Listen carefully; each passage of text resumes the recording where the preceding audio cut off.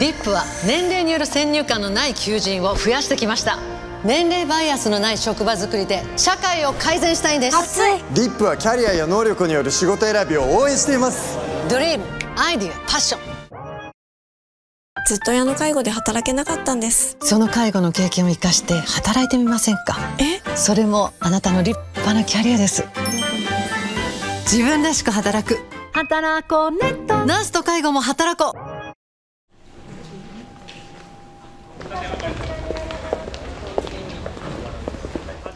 ちょっとやってみましょうか。はい。踊らなくていいどういうことですか？はい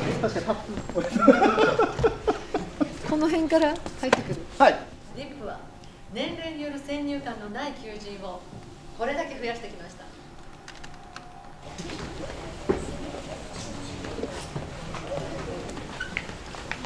年齢バイアスのない職場づくりで社会を改善したいんですなんかちょっと熱くなっちゃった。社会を改善したいんです。年齢バイアスのない職場づくりをサポートして社会を改善したいんです。年齢バイアスのない職場づくりで社会を改善したいんです。まあそこはだからちょっと裏裏と裏の絞りで。遠くに映ってるで、はい。じゃあこちらからお願いします。お願いします。お願いしますお願いしますどうしましょうかねよーい。ストップ。リップはキャリアや能力せーの。リップはキャリアや能力による仕事選びを応援していますさすが本部長。社会を改善したいんです。さすが本部長。リップはキャリアや能力による仕事選びを応援しています。ありがとう。はいありがとう。キャリアや能力による仕事選びを応援しています。リップはキャリアや能力による仕事選びを応援しています乃木坂46の、えー、6の梅澤みなみさんです。よろしくお願いします。お願いします。で続いてお隣遠藤さくらさんです。よろしくお願いします。お願いしお願いしまます。す。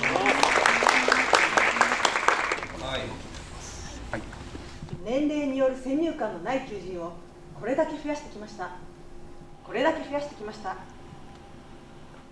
はいはいいいですね。ありがとう。ありがとう。ありがとう。はい。一回確認させてください。はい。でバック返します。熱い。改善したい。んです熱い。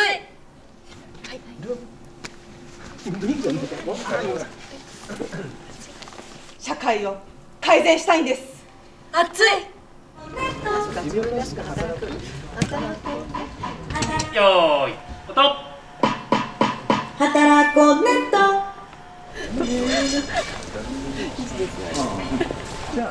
はい。申し訳ないです。ちょっと酒です。はい、これで決めます。はい。うん。素敵ですです。はーいありがとうございますありがとうございます。ありがとうございます。ありがとうございま本当に素敵な温かい現場でした。ありがとうございます。あのー緊張感っていうのがそれぞれの年代にあるのかなと思うんですけど、めちゃめちゃ和気あいあいとしてて、あの今もですけれど、あのね、お人柄があの両脇から染み入って。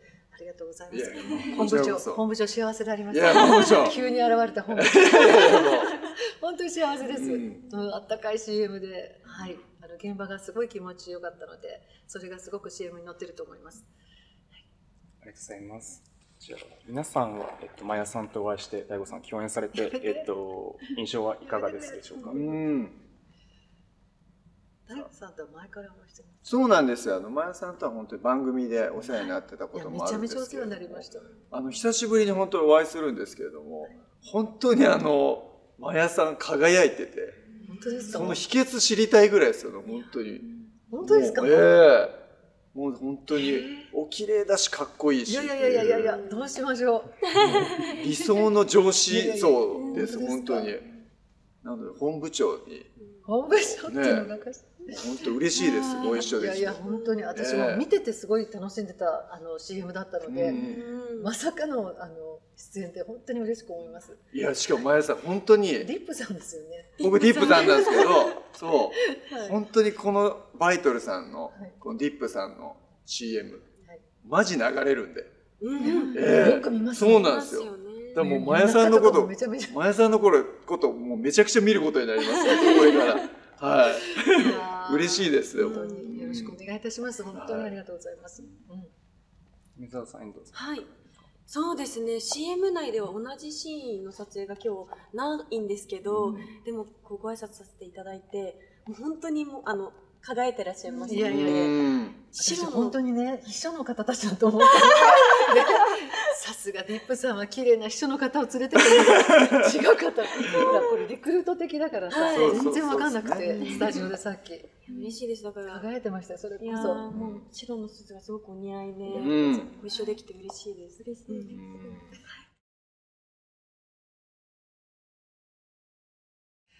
す、私すっごい発見だと思っていて発見というかあの一番にこのあのそれをそ率先されてるのがすごいことだと思っていてなぜならばなんかどんな飲食店とかどんなとこお邪魔してもなんかバイトのこの年代とか書いてあってもうずいぶん前からずいぶん前からですよ。聞かないでねみんな。ずいぶん前からどういうこと？と思ってあのほぼほぼ何にもできないじゃんってすごい思ってたんですね。であとはでもやっぱり能力能力とかキャリアっていうのがやっぱりあの人によってやっぱりあばらつきあると思うので、若い若い方たちもいくつになったら大体仕事って終わっちゃうんだよねとかバイトもできないんだよねっていう考えよりモチベーションもみんなで士気が上がるしやっぱりここでキャリアつけていこうとかってみんなの励みになるなと思ってこれすごいことだと私本気で思ってるんですよ。うん、すごいだからもう今日 CM ですごい力入りましたそこのとこ。ろ。うん。だからちょっとフラットに言ってくださいって言われました。け どはい。本当にあの感動してます、うん、増えたらいいなと思ってます、うん。いかがですか、そうですね。まあ本当にあの今ね60歳で定年とかねまあそのありますけれども結構やっぱねこう年配の方でも全然こう若くてね本当に能力があってもう働けないっていう方とかもね本当にたくさんいらっしゃると思いますのでそういう中でやっぱディップっていうのはこういうこともね率先して取り組んでいくっていう素晴らしい CM だなと、取り組みだなと思います。はい。ありがとうございます。じゃあ、梅沢さん、遠藤さん。はいそうですねでもすごくなんだろうその人のスキルに見合ったというか年齢とかじゃなくって実力とかでなんかお仕事ができたらすごく素敵だなとも思うしなんか若い世代の方にもすごくこう明るいなんだろうあの CM だなって今回このあの取り組みこの取り組みを見て思ったので、だからすごくこう勇気をもらえたりするだろうなって、うん。この CM を見て思ったのでそこがすごく参加できてだから良かったなっていうふうに思いました。そうですね。私自身はまだ21で逆に若いからって言ってやっぱり経験が浅く見られがちそうでかそういうのもあるのか。そうですね。なるほど。そうそれでこういろいろそういう見方がされてしまうのでやっぱこういう取り組みがあるからこそもっともっとできる仕事が増えていくんだなと思って私も今回参加できて嬉しく思ってます、はい空手とか教えたい。ですね。あーかっこいい。空手とか。意外ですね。うん。なんかこうね、結構こう、熟練の人しか教えられないイメージあるんだけど、うん。空手とかね、うん。やったボーカことないですルとかは？え？ボーカルを教えるあこれ本職になっちゃうか。そうっすね。なるほど。うん。ちょっと教えるほどのスキルもないんで。でもこんだけスーツ似合われたら企業とかはいかがですか、ああ、確かに。確かにでも、ディップで働きたいですよね。本当ですね、ええ本当に。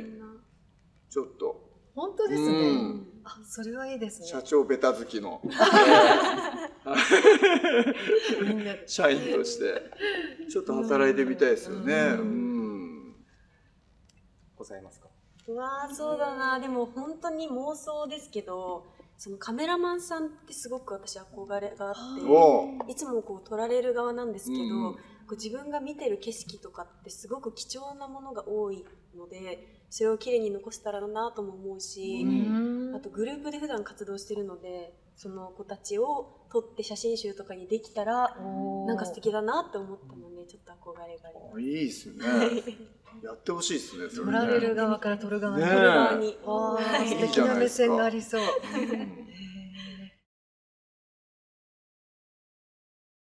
私山登りこの間したんです。はい。